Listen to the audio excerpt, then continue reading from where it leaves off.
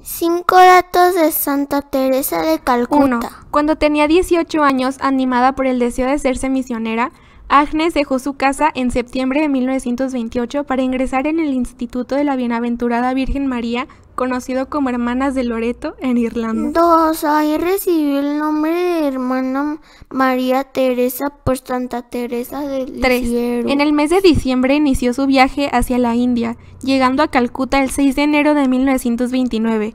Después de profesar sus primeros votos en mayo de 1931, la hermana Teresa fue destinada a la comunidad de Loreto en Tali, en Calcuta.